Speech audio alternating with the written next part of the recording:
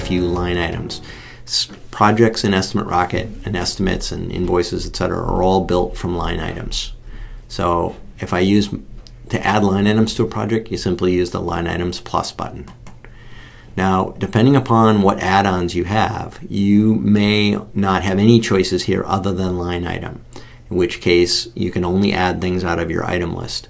You may also, if you set up item templates, this is where you'll see your item templates. So if you remember the epoxy floor coating template that we that we looked at a few minutes ago, that's where you'd that's where this is set up. And I'm actually going to pick that one. So when I pick an item template, it brings up a list of the items that I have available to choose from. So I could add all these items to the project one by one by saying line item plus epoxy coating 45 cents a unit six, and entering in my quantity of 650 square feet and it prices it out for me that looks great but that took a little while. So the easier way to do that, I'm going to go ahead and delete this. The easier way to do that is with a line item template.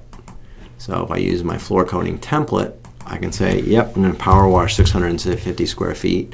I'm going to do the epoxy coating 650 square feet. I want 650 square feet of the liquid minerals uh, uh, finishing and I want to add in another six hours of installation labor. And when I save that, Estimate Rocket is going to create me a series of line items uh, based on that template. And in this particular case, it actually created these in two separate groups. So it created a floor coating group and it also created a labor group. So I can, and by putting in a group name, I could have moved, I could have had them all in the same group if I wanted. But this just shows you a good example of a project where items are shown in multiple groups. Uh, line item flexibility, and we do have some videos on line items, creating and adding line items, so I'm not going to get too much depth here. But just a quick note, uh, the there are a lot of options for groups of line items on a project, and you can control them with the little uh, edit button in the group heading. So even though this group doesn't have a name, I can still control the settings for it with the edit group. So edit group lets me control which columns are going to be displayed. Maybe I want to turn off the unit price, but I do want to have a group total. And maybe I want to give it a group name and I want to call it labor.